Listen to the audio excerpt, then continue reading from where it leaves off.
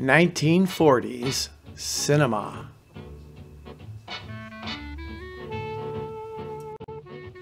Faster film, introduced in 1939, began to make Technicolor a viable option for studio production.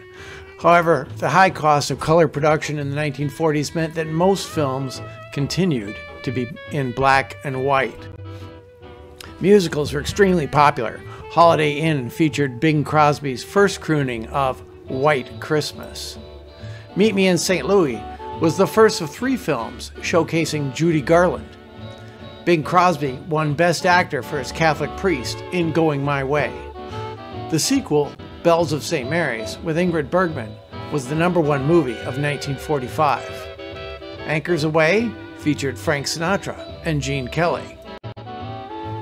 Westerns continued to be popular with Henry Fonda and John Wayne.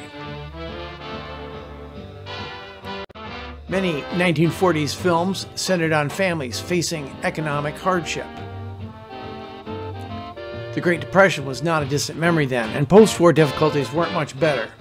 The Grapes of Wrath and How Green Was My Valley both appear on AFI's 100 Best Films list. The most successful film of the decade was one of people pulling out of hard times, The Best Years of Our Lives, directed by William Wyler.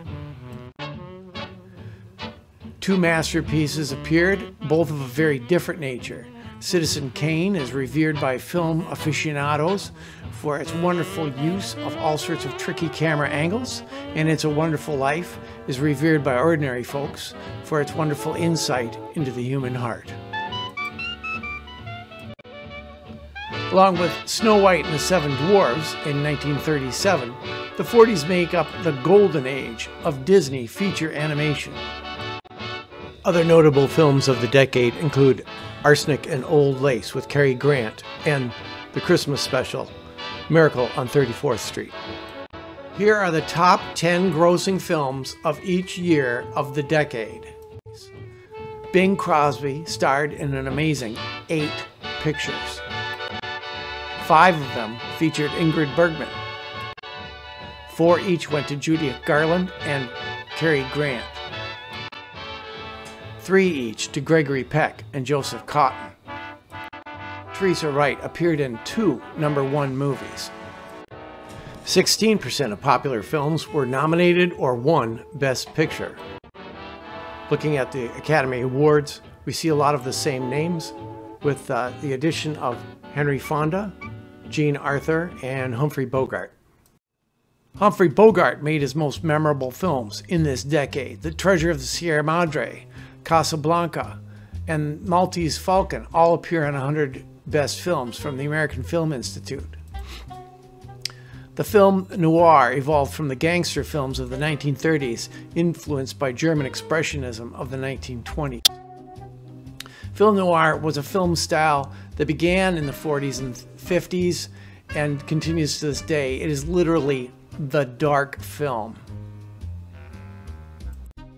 The main character of the film noir was a male, a man outside normal boundaries, familiar with the dark side of life, the private detective, the boxer, the crime boss's flunky, the sucker.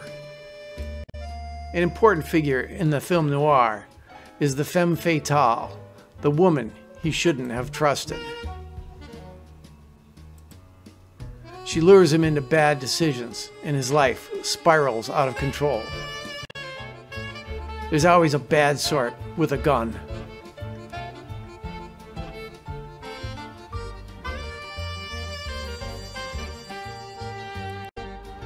The setting is typically the city, the bad part of the city.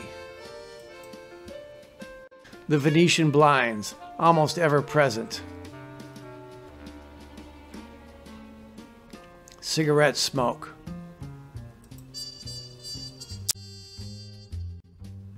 Silhouettes in the fog.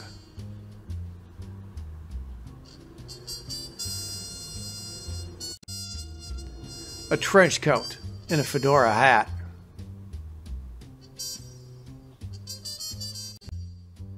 Rain in the night.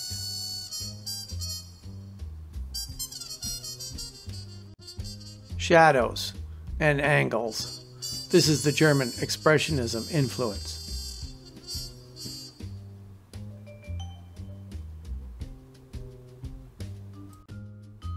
A man in a tunnel.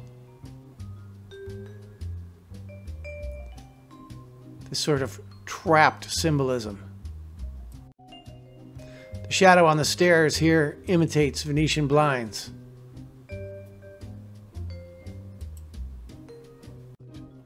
Film noir continues, even though it's in color.